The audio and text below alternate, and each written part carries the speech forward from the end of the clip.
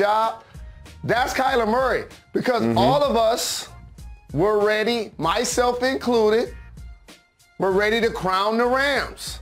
Yep. I saw him get ran on yesterday. Wasn't Edmonds run 10 yards of carry? Did, did, did I see that oh, happening? Yeah. And not did, only did that, Conner AJ score Green. two touchdowns?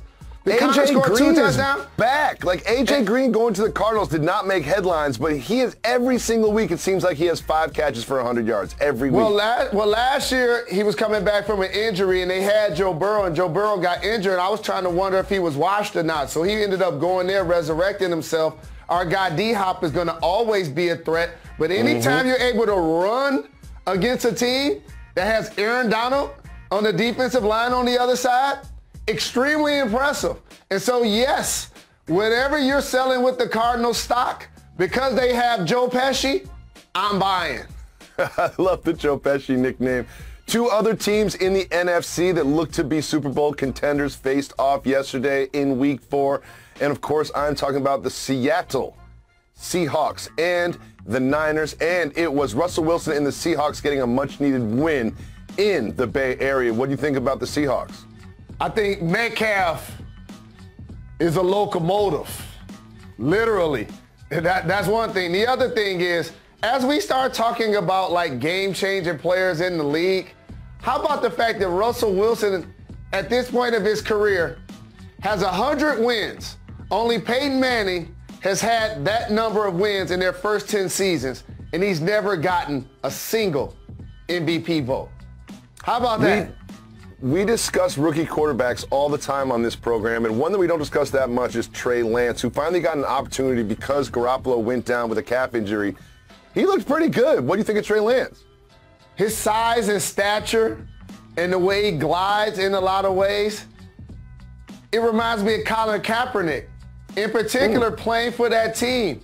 Because you and I were there when Kaepernick in the, played against the 49ers played against the Ravens in the Super Bowl. And I yep. was just thinking, once he got his opportunity, being a dual threat, something that they haven't had since he was under center for that team. He just gives them a different element of than Garoppolo does based on his athleticism.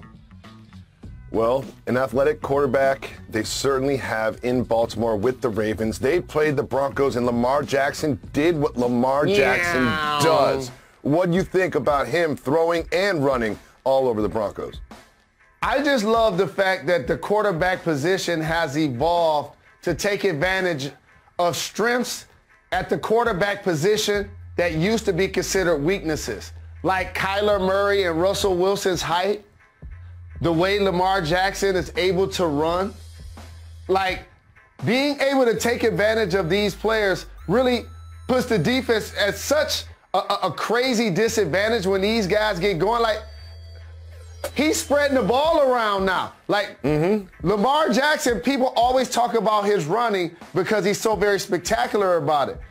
But he's also throwing the ball and doing it with accuracy and efficiency as well. And the Denver Broncos always play tough defensively.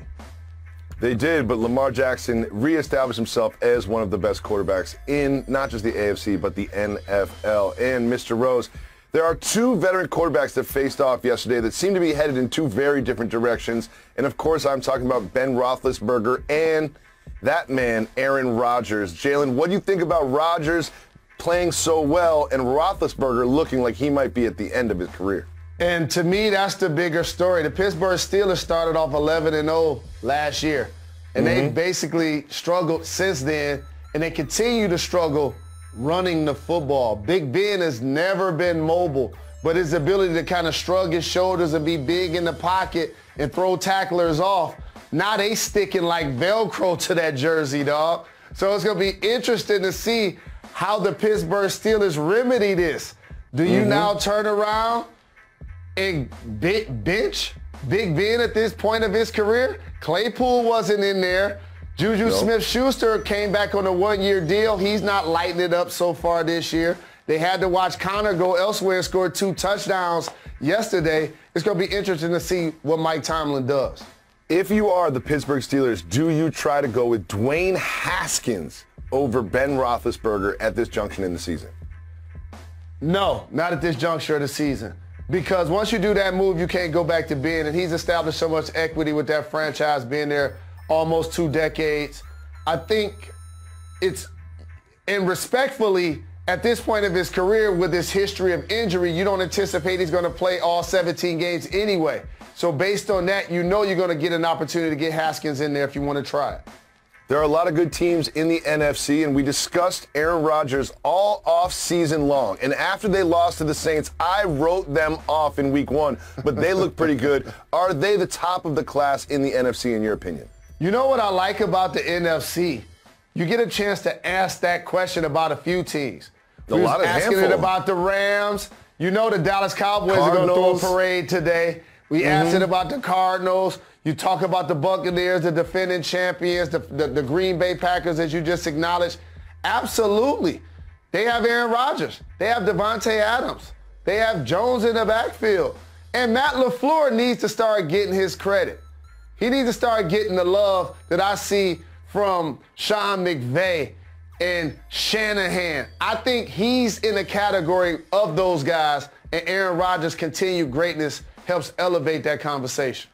Jalen, we always overhype the Cowboys.